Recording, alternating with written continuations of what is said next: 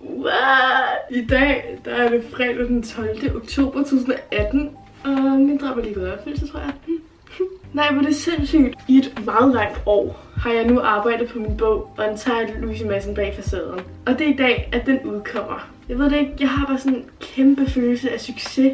Og jeg vandt også Kahoot i dag i skolen. Altså det var sådan en succesrig dag, og det var sådan solen skinner, det er røv godt vejr. Det er efterårsferie, og jeg står bare med min bog i hænderne, og har været i samtlige bogforretninger på vej hjem fra skole, hvor de her bøger stod på hylderne, og det er sindssygt. Altså det er så sindssygt. Det er virkelig bare en drøm, der kan opfylde sig. Overvej, at jeg kan kalde mig selv forfatter.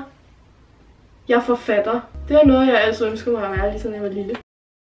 Så ja, hej og velkommen til den her vlog. Jeg synes bare, jeg vil vlogge i dag. Jeg er lige kommet hjem fra skole. Altså min dag har ikke været særlig spændende indtil videre. Sådan, jeg bare stod op og glemte helt, at min bog udkom. Og så var jeg sådan, fuck, min bog udkommer i dag. What the fuck? Så blev jeg mega glad, så gik jeg i skole. Havde en fantastisk skoledag, og nu er jeg kommet hjem, så nu starter jeg vloggen. I dag der skal jeg holde min kæmpe boglancering, fordi jeg skal selvfølgelig fejre det, at min bog er kommet ud, så jeg har inviteret en masse af mine venner, familie og nogle influencers. Så vi skal bare have en fest. Jeg har lavet sådan et mega fedt sted, og bare sørget for det hele selv, og bare businesswoman.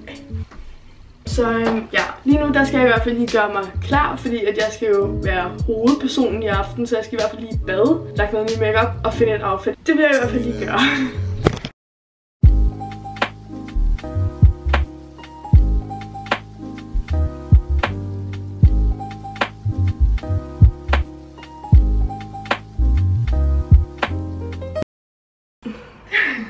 Hej mor. jeg har lige lagt noget makeup, som I kan se, og det er egentlig bare den, jeg altid plejer at lave. Nu skal jeg finde et outfit, og det kan nok godt tage lidt tid. Så øhm, ja. Okay, jeg tror, jeg har fundet noget nu. Det er lidt det samme, som jeg havde på til Alberts gala-premiere, men whatever. okay, så det her, det er altså det outfit, jeg har valgt. Min jakke er fra Naked, min skjorte er fra Pieces, mine bukser er fra Agnes Studios, og mine slangeskinstøvler, de er købt for 100 år siden på Asos. Okay, vi har lige taget bussen, for så normalt er vi til øh, Kødbyen, eller vi er lige på vej derop. Så skal vi mødes med en fra sådan noget TV200, som sådan, måske skal filme noget, som måske bliver til noget. Lige nu der er jeg ankommet til Novo, hvor jeg skal holde mit øh, launch event, og det er mega fedt. Jeg har også fået en mikrofon på, fordi at der er en på TV2, der lige følger mig. Der er ikke kommet nogen endnu. Hej! Hvor mange sider er der? 250. Hold nu kæft. Ja. Ej, hvor er det fantastisk. Det er faktisk lige gammel rammerløse.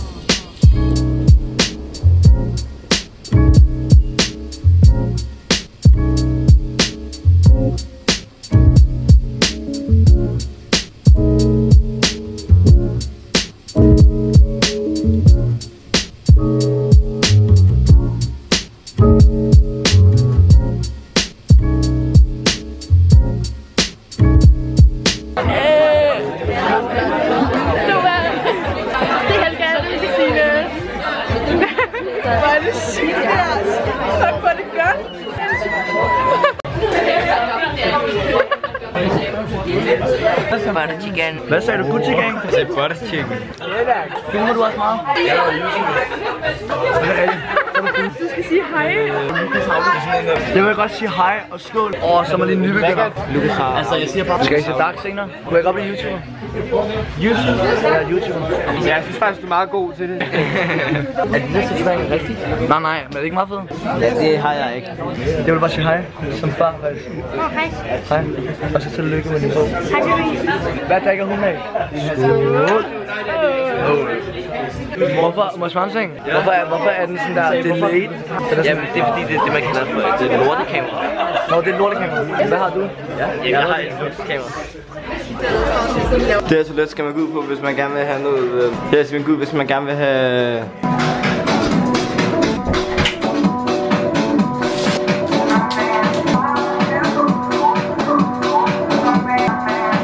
Der er, der er lidt for meget øh, champagne derude, så det er derfor.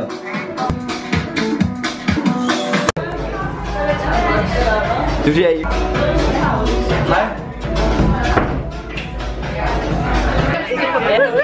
Fordi vi var fulde igen, ligesom sidste gang, vi så Det var fordi, at, nej, du skal lige filme på dem. Det er fordi, hun er rigtig grim og har grim stil, og det har hun også, og de har begge to grimme outfits på til kulturen. So here we got Aya. Og øhm, Oh shit. ja, det jeg egentlig bare lige vil sige, det er, at jeg er så stolt af dig. Fuck, det var tæt på. Okay, prøv at se lyset. Jeg vil ikke lige ud eller gas. Vi ses. Nå. Hvordan ser man det? Ja, det, der står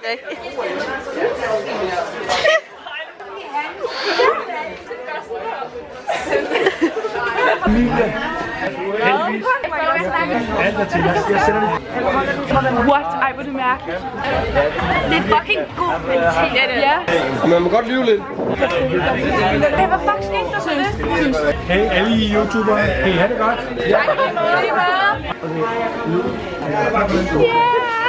Så er der ham der. Bedste venner, ikke?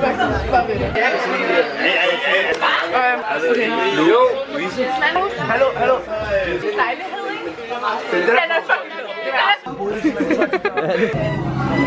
Adrygning.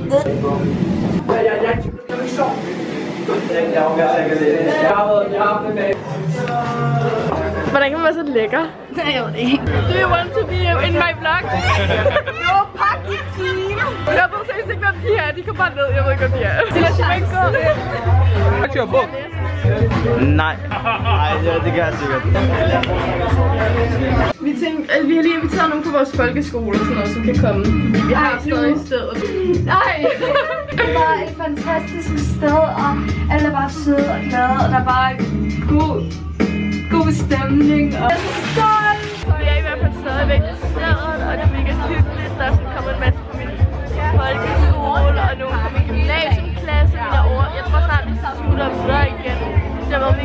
ting, så ja, jeg ved ikke, hvad vi finder på, men øh, jeg er rød træt, men jeg vil bare godt fejre det her noget mere.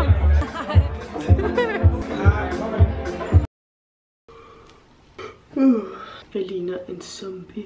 Jeg er så smadret. Og jeg er så træt, og det har været den vildeste dag i dag. Jeg har bare fået sindssygt mange gaver og blomster og Hold nu op.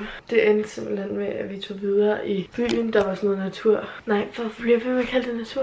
Der var sådan noget øh, hmm, kulturnat i København. Så øh, der var gang i gaderne.